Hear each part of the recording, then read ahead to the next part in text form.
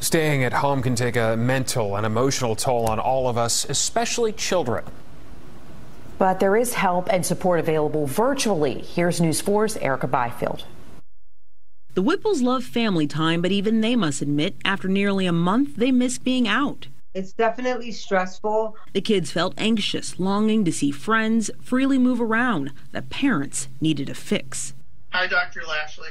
How are you holding up? The solution, telehealth. Dr. Marc Lashley with Allied Physicians Group helped them the way that he has with so many right now, online. As um, prolonged isolation has started to occur, uh, we're seeing a, a large increase in anxiety and depression in children and teens. He said children are smart. Coronavirus related school shutdowns, playground restrictions get to them too, adding this can get especially difficult for only children and those with special needs. He says that there are signs that social distancing is weighing on them shifts in mood, appetite, sleep patterns, and activity interests.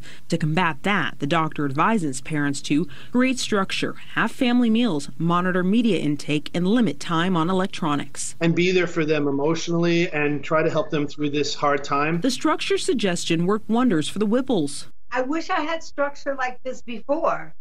Uh, we took a lot of things for granted. Now their kids get up like normal. Their school day starts at 8 a.m. It's been great.